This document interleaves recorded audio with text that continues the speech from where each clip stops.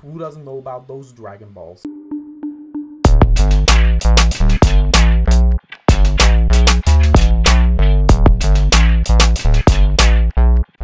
Yo, ho, ho, sha! What is up, Crew? It is me, Johku DMD, and today I got a meme deck profile. I got a meme deck. Can I get on my check? Can I check my microphone, my meme, my deck? This is a meme deck profile that I won Fight Night X Champion Johku Content Creator Heavyweight Battle Meme Deck Showdown. I got Kaioken by Spear in the first game, and then I came back with the Kaioken in game three, but I came out with the Kaioken Blue, which everybody knows. Kaioken Blue is obviously stronger than Sand Saga Who doesn't know that? But who doesn't know about those Dragon Balls? Who doesn't know about that kind of Dragon Balls stuff? Anyway, uh, this is a meme deck. This works really well if your opponent doesn't know how it goes. I actually didn't really know that well how it goes until I hit up Frank Nasso because he's the one that showed me the deck. Shout out to you, Frank, and the Hermit Style crew. This deck is the sauce, and especially when somebody doesn't know what it does, it's kind of crazy. So I'm just gonna run through the deck, show you guys how it plays, and include a link to the DBS Deck Planet deck profile, so you can go ahead and click that if you want to see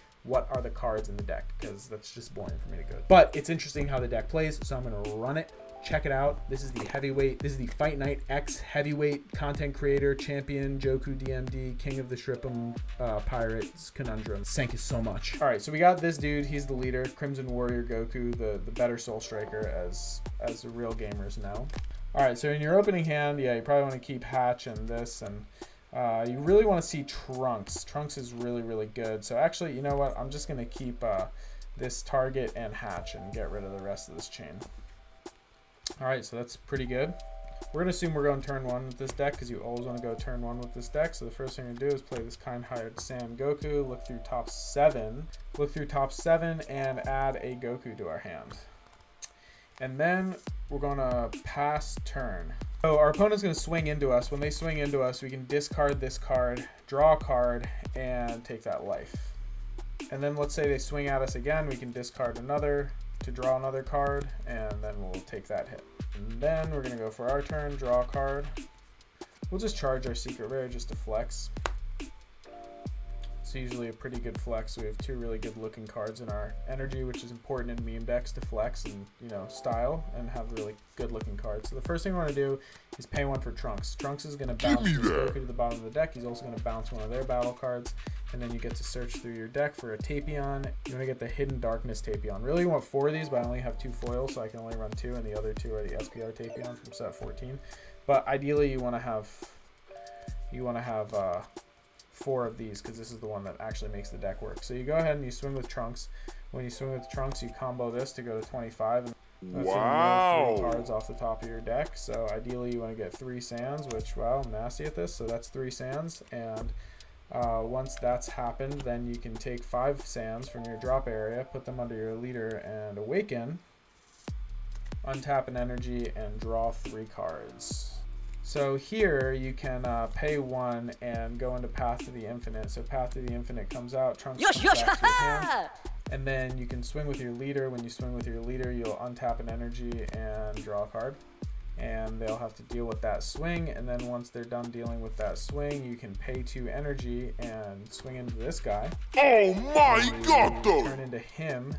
It's gonna send all their cards back to their hand, ignoring barrier because it doesn't choose.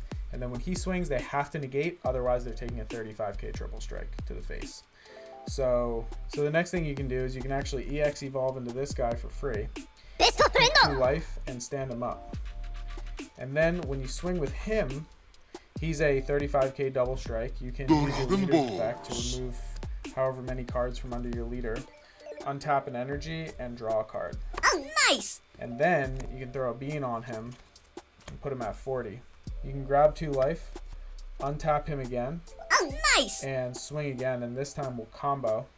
So to combo, we would go, we would go to 45, 50, 60, 70,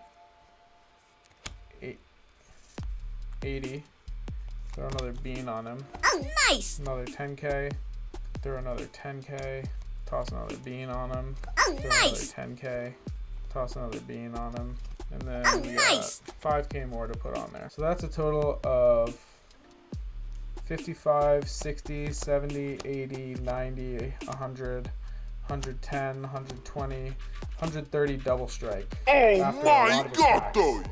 And really hard to combo out of that. But in the event that they did, you could take your last two life, stand him up, and you can't Oh, die nice. the turn that you evolve into him. And then you can pay two energy and play this dude on top of him, and then swing for game with him for a non Dragon comboable triple strike. And if they somehow get out of that, then you can just overwhelm for man on a mission and go in with man on a mission and So yeah, that's a deck. It's pretty crazy. Um, if you see the pieces, which it's kind of easy to, the deck is very very streamlined and it, it's integrated very well with itself. So you really just need you know one drop into trunks and it really gets a lot of things going because you can just set yourself up for a crazy turn two. And if they're going, if you're going first and you can pull that off on turn two, then you know they're uh, unlikely that they'll have enough resources to fend off your barrage.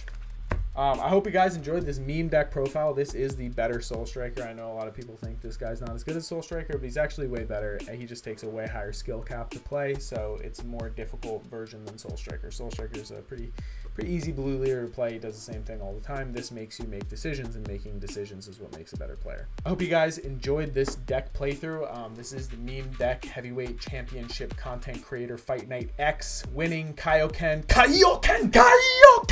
Um, but it was, yeah, it was kind of crazy to get the Kaioken into the Kaioken. But yeah, my dental tooth tip for you guys. I am a dentist. I can't end up doing a dental tooth tip. And my dental tooth tip to you is uh, don't eat raw nachos when you're not paying attention. Because, you know, if you bite on one of those raw nachos in the wrong angle, you might hurt your tooth, maybe chip a part of your tooth off. So I recommend cooking your nachos. You can cook them in uh, an oven or uh, air fryer. You know, put some cheese, some onion. Make sure your onions aren't moldy.